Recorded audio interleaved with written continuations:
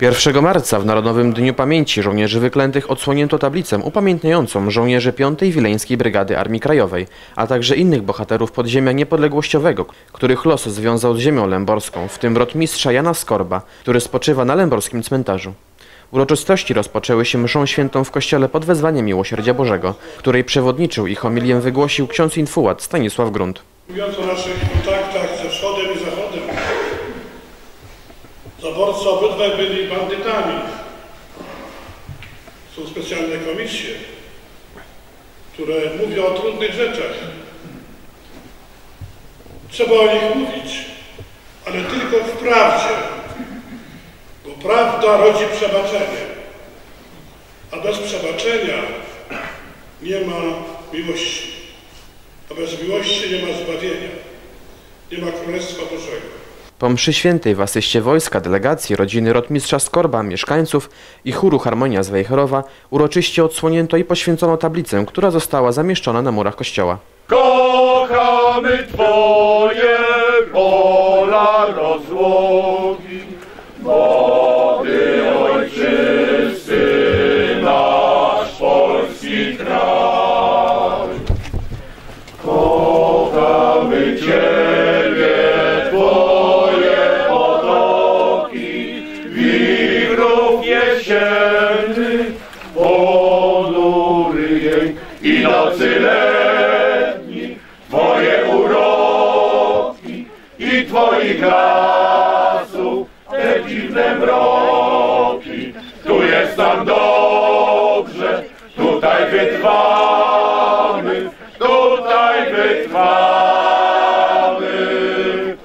Szanowni Państwo, pozwolą Państwo, że na początku zacznę od pewnego osobistego wyznania. Nie lubię wielkich słów, albo lepiej staram się je bardzo ważyć, rzadko je używać. Ale e, zgodzą się Państwo, że- są takie momenty, że są takie dni, kiedy trudno bez nich się obyć. Dzisiaj, 1 marca 2014 roku, kiedy po raz czwarty z rzędu obchodzimy Narodowy Dzień Pamięci Żołnierzy Wyklętych, jest właśnie takim momentem. Jestem o tym głęboko przekonany. Proszę Państwa, żołnierze wyklęci, a może precyzyjniej żołnierze niezłomni, to jak chcą niektóre środowiska, nie byli żadni bandyci czy faszyści. O tym chyba tutaj wszyscy zebrani są doskonale o tym przekonani. Ale chciałbym zwrócić na jedną rzecz szczególnie uwagę, o czym e, nawet dzisiaj się troszeczkę zapomina, czy przychodzi się na tym troszeczkę za bardzo do porządku dziennego. To nie byli żołnierze, którzy wzięli się znikąd. To nie byli ludzie, którzy dopiero w 44, 45 czy w 46 roku postanowili stawić zbrojny, ale też i bierny opór temu, co się działo wtedy z naszą ojczyzną. To byli w zdecydowanej większości członkowie rozwiązanej w styczniu 1945 roku Armii Krajowej. Powiem więcej, do lata 1945 roku, i to należy pamiętać, była to jedyna zbrojna formacja legalnej, jedynej władzy polskiej, rządu londyńskiego. W styczniu 1945 roku, kiedy rozwiązano Armię Krajową, ci ludzie w ciągu kilku następnych tygodni przeszli do nowego tworu, delegatury sił zbrojnych. Dopiero w sierpniu 1945 roku, podczas konferencji poczdamskiej, alianci zdradzili, nie pierwszy raz, ale przede wszystkim uznali ówczesny tymczasowy rząd jedności narodowej. Proszę Państwa, wbrew temu, co też niektórzy mówią, to nie byli oczywiście bandyci, to nie byli e, zbrodniarze, to nie byli e, nikczemnicy. To byli ludzie, którzy nawet mieli ochotę, czy chcieli dać szansę tej nowej Polsce i nie wszyscy postanowili wyjść z lasu, postanowić pracować dla tej nowej Polski, która wówczas jeszcze niektórym wydawało się, że być może będzie faktycznie suwerenna czy niepodległa. I tak jak niektóre środowiska podkreślają, że to byli ludzie, którzy tylko chcieli walczyć, psuć ten nowy porządek. Nie, oni, niektórzy z nich dali szansę tej nowej Polsce. Ale ta Polska sowiecka ówczesna nie dała im szansy. Po krótkim okresie, kiedy mogli zadomowić się na nowych terenach czy podjąć pracę, byli oni aresztowani w zdecydowanej większości pod fałszywymi zarzutami i skończyli w zdecydowanej większości, jeżeli nie w katowniach i więzieniach, to na zsyłkach. O tym należy pamiętać, proszę Państwa, bo to gdzieś umyka e, wciąż w naszej dyskusji, wciąż w naszej rozumowaniu o żołnierzach niezłomnych. Ja będę używał tego sformułowania, bo moim zdaniem jeszcze lepiej oddaje to, kim byli ci, nie boję się użyć tego słowa, bohaterowie. Są też zarzuty, że żołnierze niezłomni, ach, to, to, to byli podzieleni, to nie byli jednolici. Tak, byli. To były przeróżne środowiska. Była to konspiracja poakowska, był też i obóz narodowy, NZS, e, Narodowy Związek Wojskowy także. Było też szereg ugrupowań, która w ogóle nie była afiliowana. Ale ich wszystkich łączył jeden podstawowy cel. Odzyskanie tej Polski, którą utracili kilka lat wcześniej. Mówię o 1939 roku. I na żołnierzy niezłomnych należy i powinniśmy patrzeć nie jako zjawisko czy proces, który dopiero w tym 44 czy 45 roku ma miejsce. Nie. Oni, oni w zdecydowanej większości byli kontynuatorami, czy byli wręcz żołnierzami, którzy walczyli od 1939 roku. Ukształtowani, wychowani w tej niepodległej, jakże z trudem wywalczonej Polsce okresu międzywojennego. Należy o tym pamiętać i e, z całym brzemieniem tego słowa jesteśmy to winni dzisiaj w 2014 roku.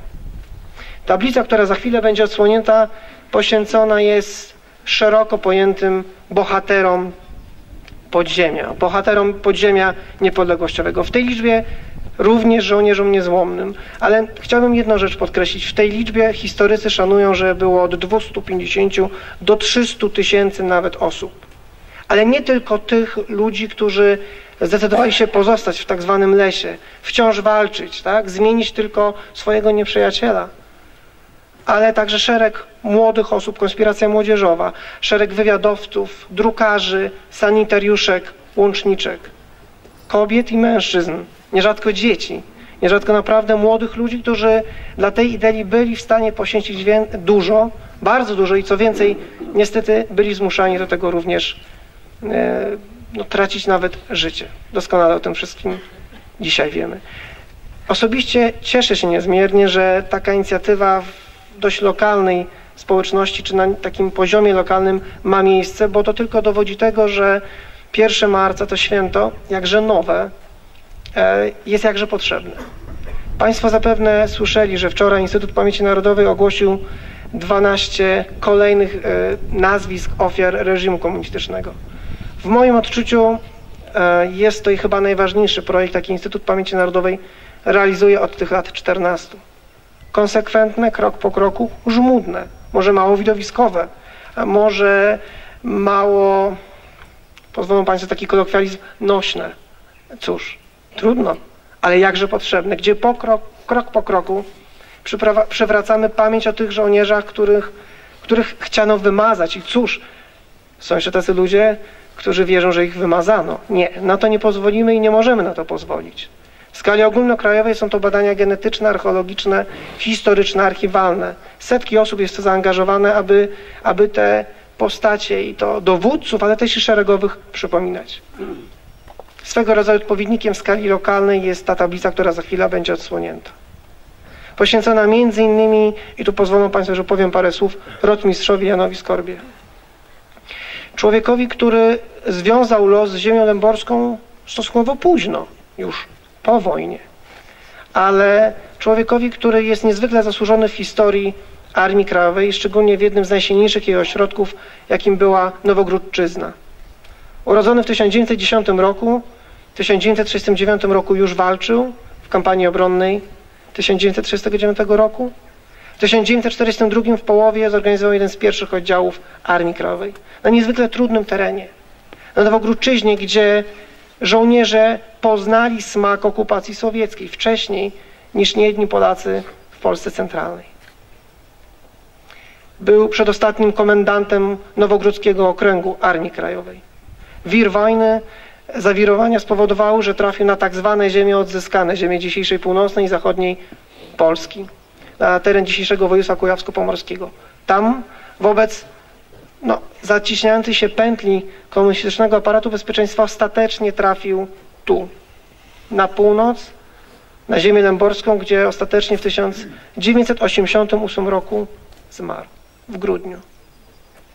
Zabrakło kilkunastu miesięcy, kilku lat, aby mógł otwarcie o tym opowiedzieć. Aby był, tak jak dzisiaj ostatni żyjący, zapraszaniem być do szkół, aby dawać takie najprostsze świadectwo historii, jakże potrzebne. Zabrakło kilkunastu miesięcy, może kilku lat. Dlatego będę się powtarzał, Państwo wybaczą, ale tego typu inicjatywy są bardzo potrzebne i, i jeszcze raz, jako rzecznik prasowy chciałem podkreślić, że cieszę się niezmiernie, że to, do tego się udało dopiąć. Mam nadzieję, że to nie pierwsza tego typu inicjatywa w powiecie lęborskim, może będą następne, ale im, żołnierzom niezłomnym, niepokornym, wyklętym, należy się nasza pamięć. Cześć pamięci bohaterom. Szanowni zgromadzeni, w imieniu rodziny, w imieniu żyjących jeszcze towarzyszy broni mego ojca świętej pamięci Jana Skorba, którzy ze względu na wiek i którzy ze względu na stan zdrowia nie mogli przybyć na tą uroczystość, chciałbym serdecznie, serdecznie podziękować. Chciałbym bardzo podziękować za tą uroczystość i tą piękną mszę, która została odprawiona. Szczególnie chcę podziękować wielebnemu Infuatowi za piękne słowo. Słowo, które zostało jak gdyby głęboko w naszych sercach i szczerze powiem, ksiądz Infuat powiedział wszystko to, co ja też myślę i chciałem również powiedzieć. Dziękuję bardzo staroście Lęborskiemu, dziękuję wicestaroście Lęborskiemu, burmistrzowi miasta Lęborka za tą inicjatywę i za to, że ten dzisiejszy dzień jest tak uroczysty. Szczególne podziękowania chcę skierować do radnych ziemi lęborskiej za to, że podjęli tą inicjatywę obywatelską, która dzisiaj ma tak piękny finał. Na pewno ci wyklęci żołnierze, którzy teraz są już u Pana Boga, patrzą na nas z góry, są zadowoleni, są szczęśliwi, że wreszcie przyszedł czas, że o nich się pamięta, że ich wysiłek, ich krew nie poszły na marne, że są wzorami dla młodych pokoleń, że są wzorami dla harcerzy, dla żołnierzy tu obecnych. Chciałbym także serdecznie podziękować wszystkim tym, którzy dzisiaj przyczynili się do tej świetności, tej, tej dzisiejszej uroczystości. Żołnierzom Wojska Polskiego, pocztowi sztandarowemu, harcerzom i wszystkim ludziom dobrej woli, którzy dzisiaj pomogli w tej przepięknej uroczystości. A jeszcze raz chcę podziękować księżom, koncelebrantom, również za te przeżycia, które dzisiaj sądzę wszyscy mieliśmy okazję przeżyć podczas tej wielkiej, miłej, wspaniałej mszy świętej. Sądzę, że najlepiej będzie, jeżeli tą tablicę odsłoni córka rotmistrza Jana Skorba Maria i jego wnuczka, jako przedstawicielka już drugiego pokolenia, może nawet trzeciego pokolenia, wychowanego na ziemi lęborskiej. Serdecznie dziękuję. Sprawując Eucharystię, polecaliśmy miłosierdziu Boga wszystkich naszych rodaków, którzy oddali swoje życie w obronie Ojczyzny za wolność naszą i waszą. Walczyli bowiem często także w obronie innych narodów. Prosiliśmy, aby Bóg zechciał przyjąć ich ofiarę razem ze zbawczą ofiarą swojego umiłowanego Syna. Jesteśmy przekonani, że Ojczyzna, ten wspólny dom wszystkich Polaków, jest bezcenną wartością, dla ocalenia której potrzeba ofiary życia, ale także ofiary pracy, cierpienia, uczciwego wypełniania wielkich i małych obowiązków. Tej umiejętności chcemy się uczyć od naszych ojców, braci i sióstr, którzy za tę wartość zapłacili najwyższą cenę. Prośmy Boga, aby poległych obdarzył wieczną nagrodą, a nas żyjących hojnym błogosławieństwem, byśmy potrafili żyć już nie dla siebie, ale dla bliźnich i dla Niego samego, który nas stworzył i będzie nas sądził.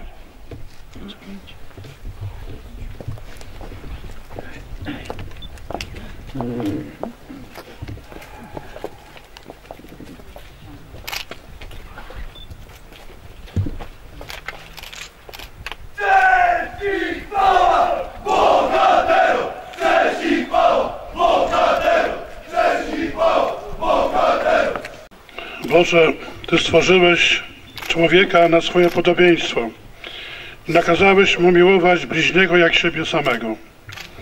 Ty powierzyłeś ludziom ziemię, aby była wspólnym mieszkaniem dla wszystkich narodów. Kiedy człowiek przez nieposłuszeństwo utracił Twoją przyjaźń, wszedł na świat grzech, bratniej nienawiści, który rodzi zazdrość i śmierć. W swoim niepojętym miłosierdziu wejrzy na naszych braci i siostry, którzy stali się ofiarami ucisku, przemocy i złości i oddali swe doczesne życie w obronie ludzkiej godności oraz wolności ojczyzny. Obdarz ich nagrodą nieśmiertelności i chwały. Błogosław nam, którzy wspominamy ich imiona i żyjemy na tej ziemi. Spraw, abyśmy potrafili miłować naszych braci, jak Twój Syn nas umiłował. Ojcze, odpuść nam nasze winy, jakie my odpuszczamy tym, którzy przeciw nam zawinili. Przyjmij naszą modlitwę przez Jezusa Chrystusa, który do końca nas umiłował i który z Tobą żyje i króluje na wieki wieków. Amen.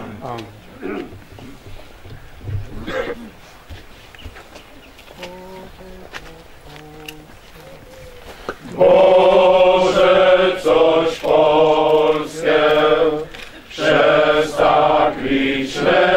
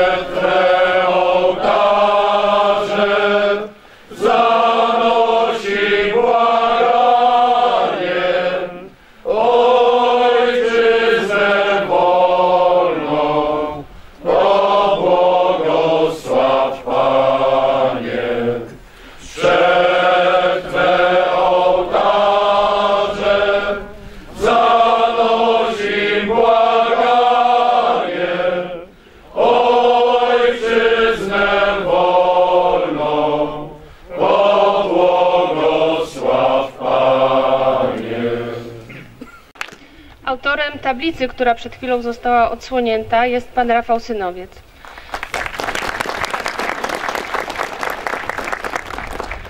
A teraz poproszę o odczytanie pieśni 5 Brygady Wileńskiej Armii Krajowej.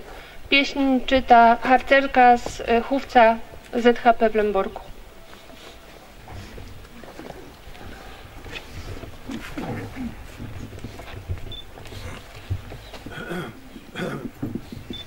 Gdy ziemia ojczysta, skąpana we łzach, o pomstę krew woła męczeńska.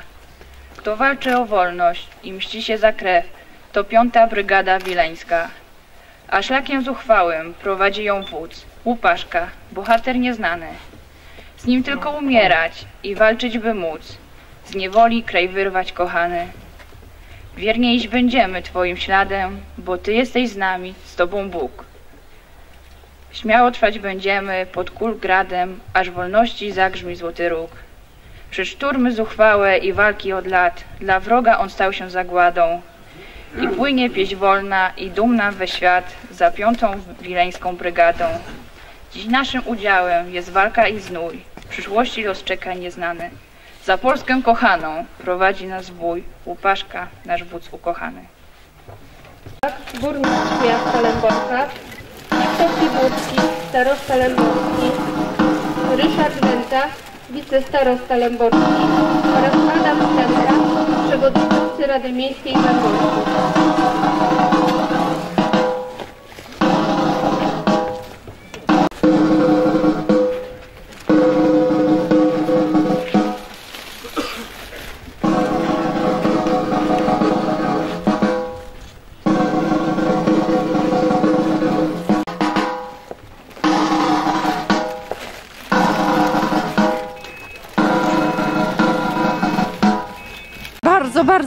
Jesteśmy szczęśliwi, że taka uroczystość się odbyła. E, Przyznam, że zawsze nas jako dzieci troszeczkę bolało, że my wiemy, a nie bardzo można na ten temat mówić. I mm, czuliśmy się w jakiejś mierze upokorzeni. Dzisiejszy dzień jest dla nas bardzo wielkim dniem i bardzo sympatycznym. I dziękujemy wszystkim, którzy się do tego przyczynili. No właśnie, czy tato opowiadał o tamtych czasach? Em, opowiadał bardzo umiarkowanie. Zawsze powtarzał mojej mamie, która e, próbowała nas, e, nam niektóre rzeczy przemycać, mówić, opowiadać. Powtarzał, im mniej wiedzą, tym są bezpieczniejsze. I to było takie hasło rodzinne. W związku z tym my wielu rzeczy się dowiadujemy w tej chwili nawet z dokumentów, a nie z relacji ojca i matki, ponieważ to było, były rzeczy, które no, których nie należało mówić wtedy. Nie?